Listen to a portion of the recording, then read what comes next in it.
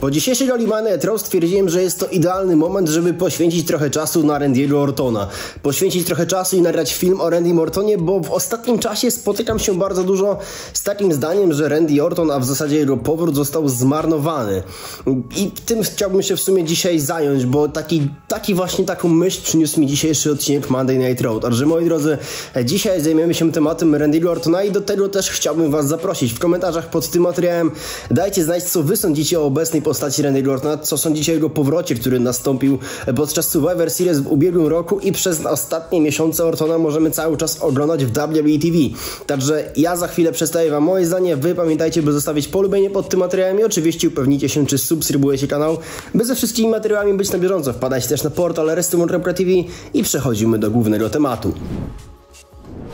Jak zdążyłem wspomnieć, Randy Orton powrócił podczas gali Survivor Series w 2023 roku. Miało to miejsce bodajże w listopadzie, o ile dobrze pamiętam. Mimo tego, że Orton został ogłoszony na tą galę, że jego powrót został zapowiedziany, to i tak do ostatniego momentu było to jedna wielka niewiadoma. Aż w końcu w pewnym momencie rozbrzmiała jego muzyka na arenie, dołączył on do Survivor Series War Games meczu i wtedy War Games się na dobre rozpoczął. Wtedy rozpoczęliśmy też piękną, albo i dla niektórych niepiękną przygodę z Randy Mortonem w WWE w roku 2023-2024, bo Niektórzy tutaj mogą być zadowoleni z tego, jak Orton się prezentuje, przede wszystkim jego forma, sylwetka, kondycja. To jest naprawdę na najwyższym poziomie. Nie da się tego odjąć. Randy Orton, mimo już no, dość sporego wieku, Wygląda naprawdę wyśmienicie, wygląda najlepiej w swojej karierze, nigdy lepszej formy nie miał. Trochę tam na pewno musiało towaru zostać załadowanego, ale no tam chyba oczywiste to jest, że każdy w W e, coś bierze. Niemniej jednak powrót Randy Ortona miał miejsce, wszyscy byliśmy w szoku, wszyscy byliśmy zadowoleni. Doszło przez te miesiące nawet do takiego momentu, że w końcu po tylu latach kariery w WWE piosenka Randy Ortona na jego wejściu jest śpiewana. To zapoczątkowała Francja na gali Backlash w Lyonie i to naprawdę był niesamowity moment zapewne dla i Ortona, ale i nas fanów WWE, bo to w zasadzie można tak szczerze powiedzieć, że gala Beckler zapoczątkowała nową erę, jeżeli chodzi o wejście zawodników. Szczególnie pokazało to wejście czy Ortona, czy Jaya Uso. No ale skupiając się bardziej na Randy Mortonie. Jego powrót nastąpił na Survivor Series i tam oczywiście walka została wygrana. Była to wieloosobowa walka. Na gali też gdzie powrócił CM Punk, więc dwa niesamowite powroty jednej nocy. Przez ten czas do dnia dzisiejszego Orton stoczył w WWE 32 walki, z czego 18 wygrał.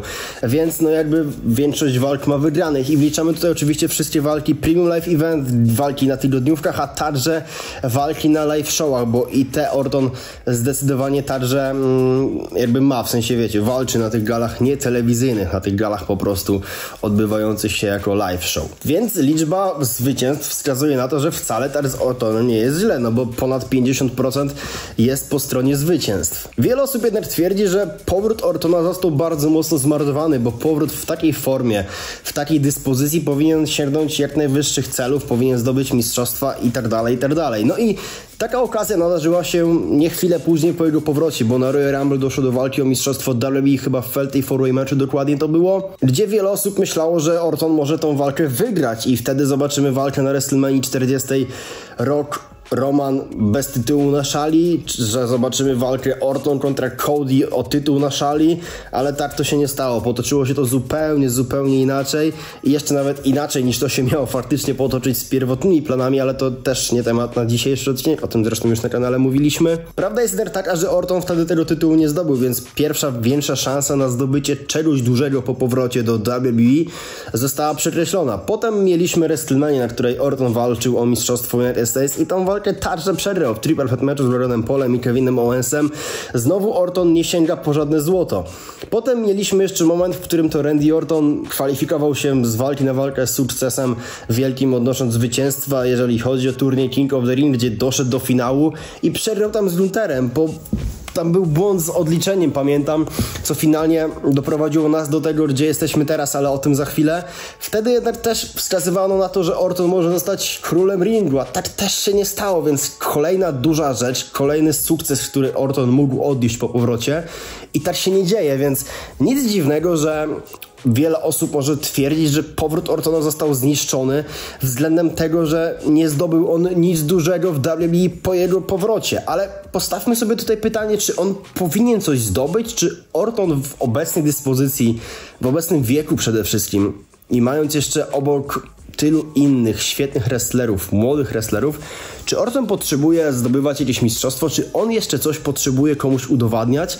Nie. I wydaje mi się, że tutaj należy już od razu postawić jakby odpowiedź na pytanie, że WWE nie zniszczyło powrotu Randy'ego Ortona i to jest cała prawda, którą ja z mojego punktu widzenia chciałbym wam właśnie teraz przedstawić. Powrót Randy'ego Ortona, moi drodzy, doprowadził do tego, że Orton już będąc w takim wieku, w jakim jest, bardziej przyjął rolę takiego, by boostować młodsze gwiazdy, pomagać im, no podkładać się nawet im, odnosząc porażki, tylko po to, żeby ktoś inny odniósł zwycięstwo cenne dla niego, typu na przykład Logan Paul na WrestleMania 40. Randy Orton przyjął właśnie taką rolę i to, co wydarzyło się na ostatniej gali Raw skłoniło mnie do tego, by ten film nagrać i tą myślą się z wami podzielić, ponieważ zwróćmy uwagę, że już 31 sierpnia na gali Bash in Berlin, właśnie w Berlinie, więc całkiem niedaleko nas, dajcie swoją drogą w komentarzach znać, kto na tą galę się wybiera. Randy Orton stoczy walkę z Gunterem i będzie to walka o mistrzostwo World Heavyweight, którą powiedzmy sobie wprost szczerze, Orton przegra. Orton przegra tą walkę i to nie ma co ukrywać, ponieważ Randy Orton ponownie podłoży się pod gwiazdę, która potrzebuje tego zwycięstwa bardziej, a Gunther wygrywając jeden na jednego z Randy Ortonem w pierwszej swojej poważnej obronie, poważnej, no bo to jest poważna walka, Orton kontra Gunther, halo, to będzie pierwsza obrona mistrzowska dla Guntera, jeszcze na swojej ziemi, w Niemczech, więc nie ma nawet opcji, żeby Gunther tą walkę przegrał, ale bardziej dzisiaj skupiamy się na Randy Mortonie i tym, że będzie to kolejna duża i znacząca dla niego porażka, gdzie na szali jest coś cennego, bo na szali będzie mistrzostwo World Heavyweight. Nawet w momencie, w którym Orton należy do brandu SmackDown, teraz przeniósł się na brand Raw, ok, bo będzie walka z Gunterem, doprowadziła nas do tego zakończenie King of the Ring, gdzie właśnie niepoprawny roll-up został wykonany, w sensie niepoprawny pin został wykonany przez Guntera, czego też Triple H i WWE nie olało, a odłożyło w czasie. Doprowadziło nas to do tego, że Orton chciał rewanżu, chciał walki rewanżowej z Gunterem wtedy, kiedy Gunter zdobył już mistrzostwo. Więc jak najbardziej storyline super. Natomiast powiedzmy sobie wprost, to już w tym momencie Orton tą walkę przegra. I wcale nie będzie to porażka, która jakkolwiek Ortonowi zaszkodzi. Fakt, może wiecie, po porażce o tytuł WWE, po porażce o tytuł United States, po porażce w King of the Ring i teraz jeszcze kolejna porażka w starciu o mistrzostwo World Heavyweight, no to nie brzmi fajnie, to nie wygląda też przyjemnie, więc jak najbardziej można się zgodzić, że, że jest to niezbyt udana przygoda teraz i droga Randy'ego Ortona, ale to jest zrozumiałe, bo Orton po prostu w taki sposób pomaga budować nowe gwiazdy, pomaga jeszcze bardziej wzmacniać pozycję takich gwiazd jak na przykład Gunther. Tak samo słuchajcie, kiedyś było z Johnem Siną. Jakby pamiętamy chyba wszyscy debiut Kevina Owensa, albo walkę z Solo Sikołą, nawet ostatnią, którą Sina też przegrał tak właśnie tego pokroju gwiazdy w tych czasach robią. Były nawet jeszcze czasy Chrisa Jericho, który też podkładał się wielu gwiazdom w WWE, by po prostu oni jeszcze bardziej mogli budować swoje nazwisko. I to nie jest nic złego, naprawdę. Jakby bądźmy szczerzy, Orton nie potrzebuje mistrzostwa. Orton i tak jest gwiazdą samą w sobie, która tego mistrzostwa nie potrzebuje, ale czy Orton jeszcze sięgnie po jakieś mistrzostwo? Tak, na pewno tak, biorąc tym bardziej pod uwagę, że Ostatnio w sieci pojawiła się informacja, iż Orton podpisał nowy kontrakt z WWE do 2029 roku, więc jeszcze przez 5 prawie że lat będziemy Ortona mogli śmiało w W oglądać, więc na bank sięgnie on jeszcze po jakiś tytuł. Nawet teraz przyszła mi taka myśl, pamiętacie jeszcze jak Orton był w drużynie z Mattem Riddle, który już nie ma w W i zdobyli mistrzostwa tag teamowe? Wydaje mi się, że bardziej ze względu na Matt Riddle i cały hype tego tag teamu, a nie ze względu na Ortona, więc Orton bardziej już taką jakby rolę przyjął w Federacji WWE, żeby teraz wzmacniać obecne mm, młode gwiazdy, podbudowywać jeszcze bardziej ich prestiż i to teraz też stanie się z Gunterem na Bashing Berlin, więc jak najbardziej jest to zrozumiałe. Tak też było z Johnem Siną, tak też było z Chrisem Jericho, tak też nawet, słuchajcie, będzie zaraz z kimś kolejnym, więc no nic dziwnego, nic dziwnego. Uważam, odpowiadając jeszcze raz na pytanie z tytułu tego odcinka, że WWE nie zniszczyło powrotu Randy'ego Ortona. Na pewno znajdą się takie osoby i wśród nas pewnie, które powiedzą, że kurde, to jest złe, Orton powinien zostać mistrzem tu i tu i okej, okay, ja to jak najbardziej rozumiem.